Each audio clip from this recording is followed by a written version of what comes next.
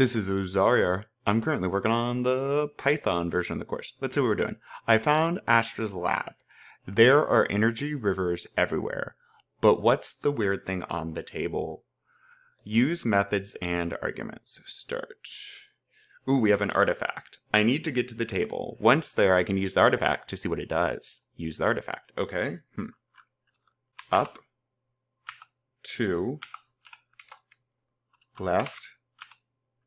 One. We can leave that one or delete it like this. It's the same thing. I'd go left one. Down. Two. No energy fields.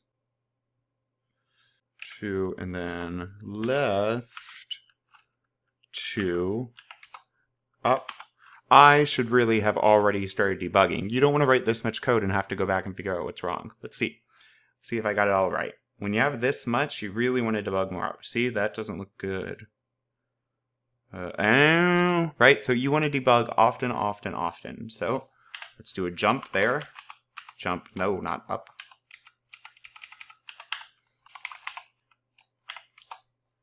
Now we can go up, two, and then right, and then use, I think. I'll leave that one because it doesn't make a difference. Okay, and then use.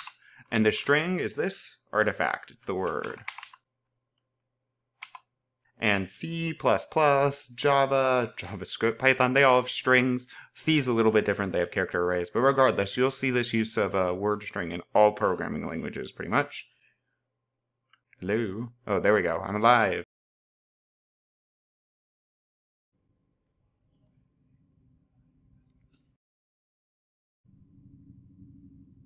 Ooh, ooh. Cool. Onward.